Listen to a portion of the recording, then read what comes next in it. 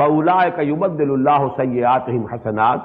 سو regarding such people اللہ سبحان و تعالی will be kind enough to change their even deeds into good deeds real توبا is something very high in the eyes of Allah سبحان و تعالی اللہ لفظ ان اللہ یحب التوابین Allah loves those who make توبہ but true توبہ اللہ سبحانہ و تعالی لفظ ہے because to err is human Al insanu murakkabun min al khata'i wal nisyan. Every human being has these two things attached to him permanently.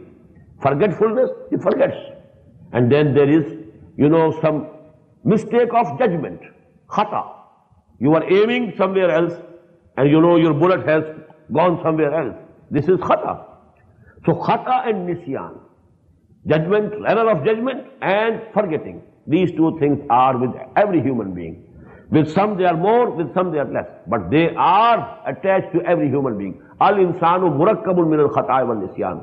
But if you have committed something wrong and immediately you have repentance, you turn to your uh, Lord, you ask His forgiveness, you make a firm promise, oh Allah, I will not do it again. Then Allah subhanahu wa ta'ala, then He accepts the tawbah. And not only that, He forgives that sin or crime that you committed, He changes that crime into a good deed Because you have committed a tawbah, a tawbah in the true sense of the word.